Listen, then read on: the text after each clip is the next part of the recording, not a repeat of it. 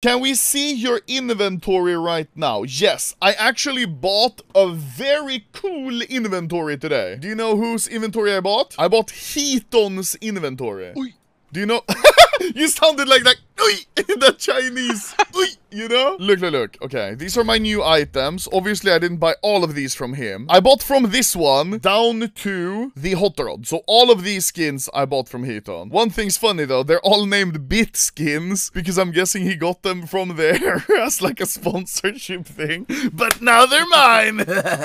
this is a super weird skin that I bought from HeatoN. Minimal wear Butterfly Ruby. That's so weird, right? That is extremely rare. How many are there? Butterfly, Doppler, minimal wear only, so capped at 0.07. Okay, there's 36 of them. Here's the one I got. So I have the 27th worst.